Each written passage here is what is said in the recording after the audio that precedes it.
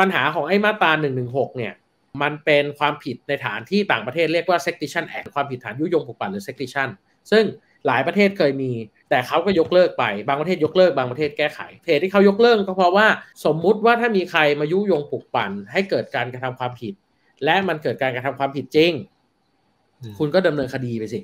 คือคุณต้องรอให้ความผิดมันเกิดก่อนคุณถึงดำเนินคดีได้ การไปออกกฎหมายเพื่อควบคุม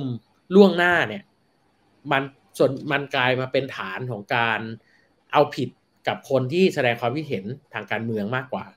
สมมุติว่าตำรวจรู้ว่า ไอ้นี่มันจะชวนไปใช้ก่อเหตุภัยแรง คุณก็แค่ไปสกัดไม่ให้เกิดเหตุนี้ขึ้น ก็จบครับนะครับเพราะนั้นไม่จำเป็นต้องมีกฎหมายแบบหนึ่งหนึ่งหกก็ได้ แต่บางประเทศนะครับ เช่นออสเตรเลียเขาก็บอกว่า โอเค มีความผิดนี้ได้ แต่ต้องบัญญัติให้ชัดว่า เขาจะไปก่อเหตุ รุนแรงจริงจะไปยิงบาซูก้าใส่ทำเนียบรัฐบาลโอเค ถ้าพูดอย่างเงี้ยคนผิดเซดิชันคือเดิมเนี่ยกฎหมายพวกนี้รัฐอาณานิคมเขาเอามาเพื่อที่ว่าจะไม่ให้ใครมากระด้างกระเดื่องกับรัฐอาณานิคม มาตรา1นึเนี่ยมันถูกนำมาใช้เยอะตอนสมัยหลังการรัฐประหารปี 2557 ก็คือคุณประยุทธ์ยึดอำนาจเสร็จปุ๊บ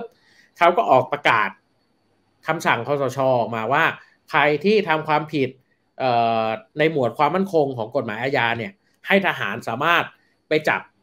กลุ่มแล้วก็เอาไปเข้าค่ายทหารได้เจ็ดวัน ทีนี้ทหารไม่รู้จะทํำยังไงดี เพื่อที่จะเอาคนเข้าค่ายทหารก็ได้ให้ได้ ก็เลยเอามาตราหนึ่งหนึ่งหกมาใช้ว่าเนี่ยคุณยุยงปลุกปั่นสร้างความกระด้างกระเดื่อง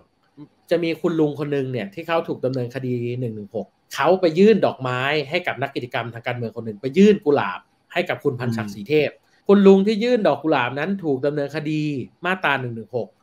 คือการไปยื่นดอกไม้กลายเป็นการยุยงปลุกปั่นให้คน สร้างความกระด้างกระเดื่องเป็นภัยความมั่นคง คืออันเนี้ยฮะคือพอเราเห็นข้อเท็จจริงแบบเนี้ยการที่คนไม่เข้าใจว่าทำไมต้องยกเลิกหนึ่งหนึ่งสองทำไมต้องยกเลิกหนึ่งหนึ่งหกเพราะคุณไม่เห็นข้อเท็จจริงแบบเดียวกับผมอะไม่เป็นไรครับ